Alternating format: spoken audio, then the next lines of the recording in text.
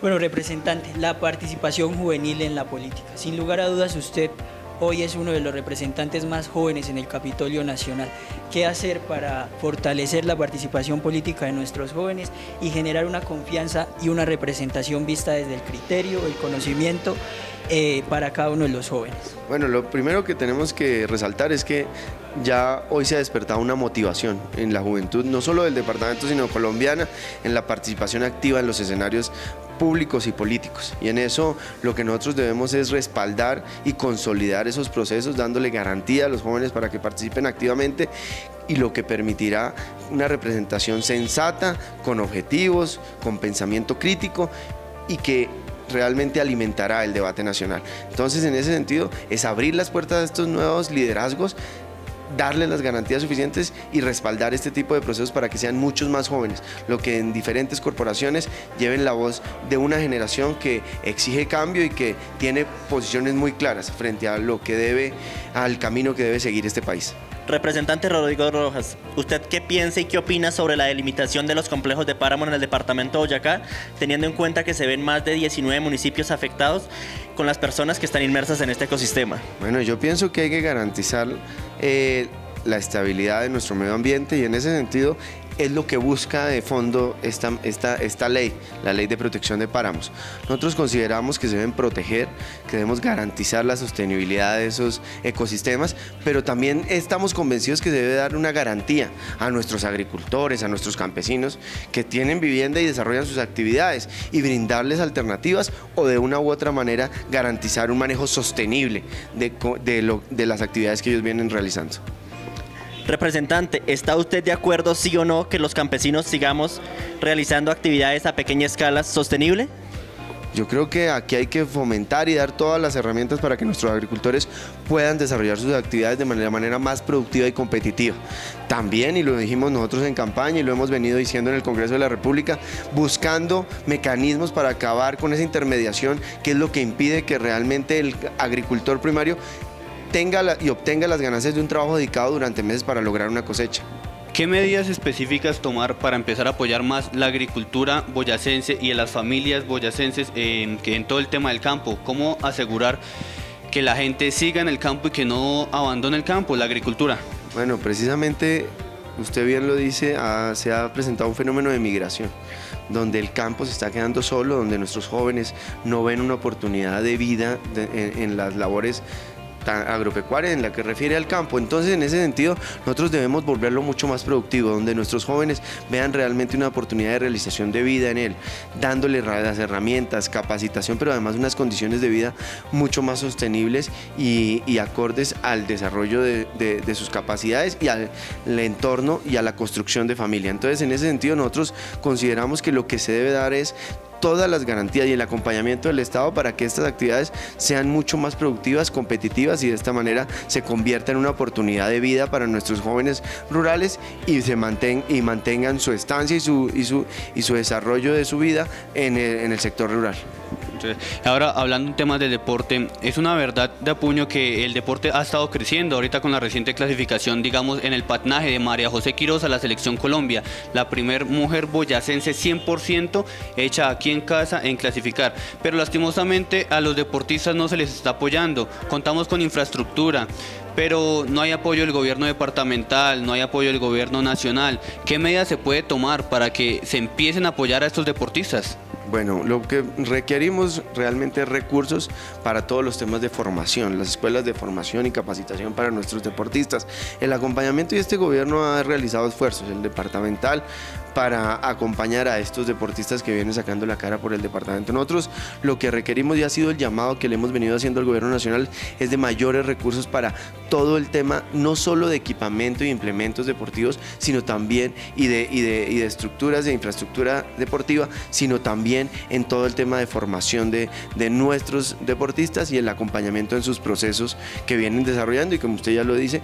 ya han traído grandes frutos para el departamento y para el país. Para nadie es un secreto que una de las problemáticas graves del departamento es la quema de residuos sólidos por parte de empresas privadas situadas en la provincia del Sogamuxi. Ya los habitantes se han manifestado reclamando afectaciones en la salud. Mi pregunta para el representante es qué solución y qué plan desarrollaría para responder estas quejas y reclamos ya presentadas por los habitantes del departamento. Bueno, el manejo de los residuos sólidos es una preocupación que no solo tenemos en la provincia de Sugamuxi, en el departamento, sino en el país. Nosotros hemos venido avanzando en el Congreso de la República en, en discusiones de algunos proyectos de ley que lo que buscan es darle una salida de la manera más eficiente al manejo de los residuos sólidos y de esta manera que no se presenten estos problemas ambientales que hoy enfrenta esta región de nuestro departamento. Hemos visto cómo cada año jóvenes desde toda la geografía departamental, inclusive desde otros departamentos, llegan a Tunja para capacitarse profesionalmente y asimismo cada año nuestra ciudad universitaria entrega profesionales al mercado laboral que con tristeza vemos que abandonan nuestro departamento hasta el punto de considerarnos exportadores de talento humano a falta de oportunidades de empleo. Mi pregunta es la siguiente. ¿Cuál puede ser la propuesta que adopte nuestros administradores locales, que sea gestionada y defendida por nuestra bancada boyacense en el Congreso y que sea respaldada por el Gobierno Nacional para la generación de empleo en Boyacá? Bueno, lo principal será consolidar la economía de nuestra capital y del departamento, atraer inversión, fortalecer los sectores en los cuales el departamento es competitivo y atraer inversión no solo nacional sino extranjera para que nuevas empresas se radiquen en nuestro departamento y de esta manera se puedan generar nuevas oportunidades de empleo que le den un chance a esas grandes mentes, a esas grandes boyacenses que tienen un gran rendimiento, una gran idea de Boyacá y se queden en nuestro departamento realizándola y fortaleciendo la economía de nuestras regiones. ¿Cómo enviar un mensaje de unidad desde el Congreso de la República para trabajar sin importar las banderas políticas, sino que simplemente lo que nos una sea el, el desarrollo de nuestro departamento? Bueno, pues enviarle un saludo y un mensaje a todos y cada uno de los boyacenses a que terminemos estas polarizaciones. Todos podemos tener opiniones diferentes frente a diferentes aspectos de la vida colombiana, pero lo más importante es unirnos en, en bienestar del país, en los, en los postulados que requiere Colombia para, para sacar adelante eh, el desarrollo social y económico de cada una de sus regiones. Y en ese camino es a que acabemos esa polarización, esos ataques que se ven sin medida, sin en las redes sociales y en el diálogo directo entre las comunidades y a que nos unamos en un solo propósito y es gestar ese desarrollo de, nuestras regiones y del país bajo la premisa de que Colombia es lo más importante y lo que nos debe importar a, todos y cada uno de los boyacenses y de los colombianos. Representante, estamos en vísperas para la elección de concejales, diputados, alcaldes y gobernadores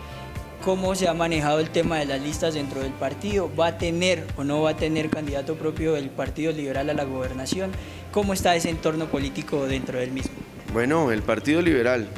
había anunciado ya un candidato que era el doctor Rafael Romero. Desafortunadamente y por lamentables noticias que refieren a la salud de, del doctor Rafael, se vio obligado a desistir de su aspiración. En este momento nos encontramos en un diálogo sincero, abierto, con todos los miembros del directorio departamental y, quienes hicieron parte de la lista de la Cámara de Representantes en el departamento para tomar una decisión respecto a quién será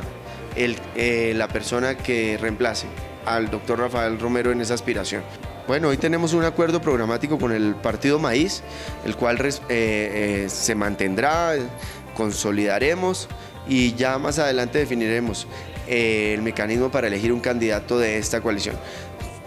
Por supuesto, convocando también a otras colectividades con los cuales tenemos fines eh, ideológicos similares y en ese propósito eh, trabajar conjuntamente para presentarle una propuesta seria, comprometida con el departamento, con sus regiones, a todos y cada uno de los boyacenses y de esta manera seguir este camino de crecimiento que ha tenido Boyacá en los últimos años. Bueno, doctor Rodrigo Rojas, solo queda agradecerle por abrirnos un espacio a nosotros los jóvenes del departamento. Esta es una iniciativa de jóvenes de los 123 municipios de las 13 provincias que lo único que buscamos es el bienestar de nuestro departamento. Bueno, a ustedes muchas gracias por la invitación y vamos a seguir apoyando, por supuesto, estas iniciativas juveniles ya desde el campo de la televisión y de la información para que de verdad sigamos construyendo esa opinión y esa, y esa idea de departamento que queremos todos los boyacenses.